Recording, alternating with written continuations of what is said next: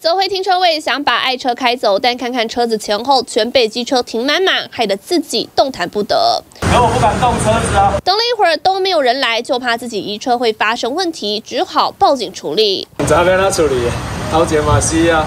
我其实不要好啦。事发就在桃园龟山区，驾驶把车停在合法停车格内，前后都有画红线，却停满违停机车，导致无法开走。警方到场后表示会打给机车车主，就离开现场，留着驾驶自行在场等候。他控诉远警不止没有开单，也没有在现场等候机车移开。警察来了，拍了照，然后他人就离开了。那我心里就想说，你怎么没有陪同我，等车主来移车？车主下来恼羞成怒。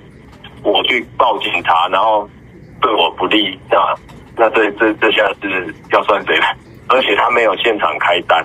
实际询问桃园警方表示，事后有举发违停，但远警只能打电话联络车主，不能擅自移车，也因为还有别的事要忙，没办法在现场等候违规车主前来。实际重温现场，这里停车格周遭都有画设红线，但可以看到还是有不少的机车违停在上面，导致说车主要进出的时候都很困难。